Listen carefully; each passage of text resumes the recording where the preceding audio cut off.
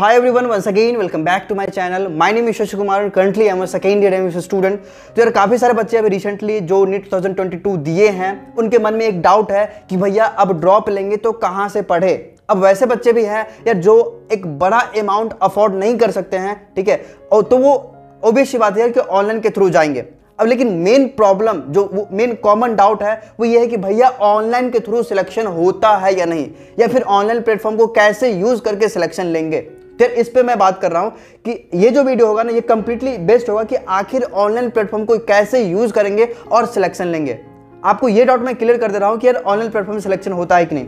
यार online platform से selection होता है। मेरे ही कॉलेज में बहुत सारे बच्चे ऐसे हैं जो कभी ऑफलाइन देखे ही नहीं है ऑनलाइन प्लेटफॉर्म को यूज़ करके ही सिलेक्शन लिए हैं। तो ये डाउट में मत रहना कि ऑनलाइन प्लेटफॉर्म सिलेक्शन होता है या नहीं। मैं कुछ पॉइंट्स आपको बताऊँगा कि कैसे 10 11 पॉइंट्स मैं आपको बता रहा हूँ कि कैसे आप ऑनलाइन प्लेटफॉर्म को इफेक्टिवली यूज़ करोगे और सिलेक्शन लोगे। एक कॉमन डाउट जो था, मुझे दो तीन दिन से बार बार पूछा जा रहा है, वो ये कि भैया यकीन बैच अभी पीडब्ल्यू का लॉन्च हुआ है, क्या उसको मैं बाय करूँ? क्या उससे मेरा काम हो जाएगा? तो देखो, मैं बता रहा हूँ पीडब्ल्यू एक ट्रस्टेड प्लेटफॉर्म है जिसका प्ले स्टोर पर मैक्सिमम डाउनलोड है मतलब फाइव मिलियन प्लस डाउनलोड है, ठीक है? वो भी फोर स्टार की रेटिंग से यार, उनका पीडब्ल्यू का एक मेन मिशन है, ठीक है? कुछ मिशन है कि एफोर्डेबल प्राइस पे हाई क्वालिटी का एजुकेशन प्रोवाइड करना, वो भी अच्छे अच्छे टीचर्स के द्वारा। तो यार, आप पीडब्ल्यू के थ्रू जा सकते हो। अगर आपको थोड़ा सा पैसों का दिक्कत है, या फिर आप चाहते हो कम पैसों में बहुत अच्छा क्वालिटी का एजुकेशन पाने का, बस आपके पास कुछ रिक्वायरमेंट्स होनी चाहिए। लाइक आपके पास एक फ़ोन होना चाहिए, आपके पास इंटरनेट होना चाहिए, और एक सेपरेट रूम होना चाहिए। आप चाहोगे तो आराम से घर बैठे बैठे अच्छे से स्टडी कर सकते हो। और पीडब्ल्यू यार मैक्सिमम लैंग्वेज में भी अब आ रहा है। अभी तो हिंदी इंग्लिश एंड बांग्ला में आ चुका है, और बाकी लैंग्वेज में भी अभी धीरे धीरे आएँगे। बस मेन मोटिव उनका यह है कि अफोर्डेबल अफोर्डेबल प्राइस पे, ठीक है, एक लो प्राइस पे आपको best quality of education provide करें। तो यार पीडब्ल्यू के प्लेटफॉर्म पे आपको क्या क्या मिलता है? तो आपको नीट से रिलेटेड आईआईटी एनडीए ये सब बहुत सारे डिफरेंट डिफरेंट टाइप के कोर्सेज मिल जाते हैं। आपको अच्छे क्वालिटी के स्टडी मटेरियल्स मिलते हैं, जो कि एक्सपर्ट टीचर बनाते हैं। अच्छे क्वालिटी के टेस्ट सीरीज़ मिलते हैं, जो कि आप रेगुलर बेसिस पे दे सकते हो। और सबसे मोस्ट इंपॉर्टेंट जो जो इस बार आया है, वो है पीडब्ल्यू सारथी, ठीक है, वो भी जल्द ही लॉन्च हो जाएगा। और वहाँ पे आपको 24 फोर इंटू मतलब 24 घंटा आपको डाउट सेशन का एक फैसिलिटी मिलेगा, जहाँ पे आप टीचर से वीडियो कॉल के थ्रू डाउट भी पूछ सकते हो। कुछ पॉइंट्स में भी आपको बताऊँगा, उसको ध्यान रखना एंड उसके साथ प्रिपरेशन करना। अभी यार यकीन बैच लॉन्च हुआ है, उसका कॉस्ट फोर्टी है। तो ये एक अफोर्डेबल प्राइस है और एक कोड जो मैं आपको दे रहा हूँ A P R two five zero अगर ये यूज़ कर ले तो आपका इंस्टेंटली अढ़ाई सौ रुपया डिस्काउंट भी हो जाएगा। तो आप ये कोड यूज़ कर सकते हो जब आप कोई कोर्सेज परचेस करोगे।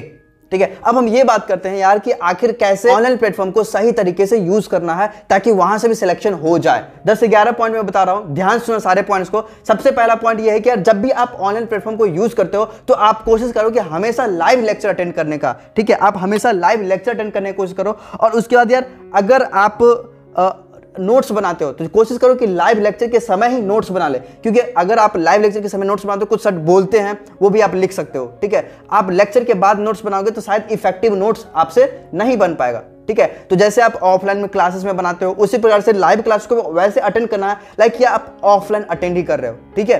तो आपको नोट्स भी उसी समय बनाना है लाइव लेक्चर भी अटेंड करना है। ऐसा कोशिश करना कि आप क्लास के बाद एक बार रिकॉल करने का कि आखिर आज क्या क्या पढ़ाया गया था, और जो भी क्लास में क्वेश्चंस करवाया जाए, उसको ध्यान सुना ही है और साथ में क्लास के बाद भी आपको कोशिश करना कि यार उस टॉपिक से 50-60 क्वेश्चंस आज कर ले। तो आपको कभी भी लेक्चर्स में डाउट होते हैं कुछ भी डाउट होते लेक्चर्स में तो आप उसी समय पूछ भी सकते हो। और एक और सर ने फैसिलिटी डाला था कि आपको किस प्रकार का डाउट आ सकता है, वो भी एक सेशन इस बार लाया जाएगा। ठीक है? तो वो भी आपके लिए इफ़ेक्टिव रहेगा। और जैसे ही आपको कोई चैप्टर खत्म होगा तो उसके बाद आप क्वेश्चन प्रैक्टिस भी करोगे। या भैया, ये क्वेश्चन प्रैक्टिस कहाँ से करेंगे? तो अगर आपको कोई मॉड्यूल मिलता है है ना? प्लेटफॉर्म से मॉड्यूल मिलेगा ये। तो उस मॉड्यूल से आपको उस चैप्टर के क्वेश्चन भी लगाने हैं। या फिर अगर आप कोई बुक प्रीफर कर रहे हो तो बुक से क्वेश्चन लगा सकते हो। रेगुलर बेसिस पे आपको खुद की डेली एनालिसिस भी करनी है, ठीक है? जैसे आप आज क्या क्या पढ़े तो कल के क्लास में जाने से पहले आज क्या क्या पढ़े तो वो एक बार रिकॉल कर लो कि आज मैंने क्या क्या पढ़ा था, या फिर कुछ एक्स्ट्रा पढ़ के भी आप जा सकते हो। जैसे ऑफलाइन क्लास होता है ना, आप ऑफलाइन क्लास में जाने से पहले कुछ एक्स्ट्रा पढ़ के जाते हो, खुद खुद से इफर्ट लगा के जाते हो तो वो काम आपको ऑनलाइन में भी करना है। और यह जो अगर आप फ़ोन यूज़ कर रहे हो तो सबसे मोस्ट इंपॉर्टेंट होता है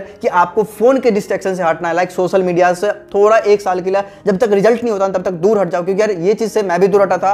अब आपको हटना ही पड़ेगा सोशल मीडिया से दूर हो जाओ, ठीक है? फ़ोन को अगर यूज़ कर सकते, करते हो तो। और एक और बहुत इंपॉर्टेंट कि जब भी आप online class use online class करते हो तो यार कोशिश करो कि आप एक रूम में सही तरीके से बैठे, एक प्रॉपर शेड्यूल को फॉलो करें फॉलो करें, जो क्लास का शेड्यूल होगा, उसको ही आप फॉलो करोगे। आप जिस प्रकार से ऑफलाइन क्लास को अटेंड करने जाते हो, ठीक है, उसी प्रकार से आपको ऑनलाइन क्लास भी अटेंड करना है। ये नहीं सोचना है कि यार अगर ये लाइव सेशन में अटेंड नहीं करूँगा तो हो सकता है मैं रिकॉर्डर अटेंड कर लूँगा, ठीक है? तो ये आपको एक्सक्यूज नहीं देना है कि यार लाइव सेशन आज नहीं हो पाएगा हम रिकॉर्डेड इसका देख लेंगे, ठीक है? तो ये चीज़ आपको करना ही नहीं है। हमेशा कोशिश करना कि पंक्चुअल रहो और हमेशा लाइव सेशन को ही अटेंड करो और कॉन्सिस्टेंटली अभी से लेकर लगातार एक साल तक काम करोगे। एक और बहुत इंपॉर्टेंट पॉइंट बता रहा हूँ दैट इज़ कि भैया, अगर मान लो कि आपका उधर का काम हो जाता, आपने लेक्चर देख लिया, ये सब कुछ कर लिया, लेकिन खुद से आपको मेहनत करना ही पड़ेगा। भैया, खुद से मेहनत नहीं करोगे तो सिलेक्शन बहुत कम चांसेस का सिलेक्शन हो पाएगा, क्योंकि सिलेक्शन टीचर्स की वजह से नहीं होता है सिलेक्शन आपकी वजह से होता है। तो आपको भी साथ साथ मेहनत करना है। भैया, मेहनत में आप क्या कर सकते हो एक्स्ट्रा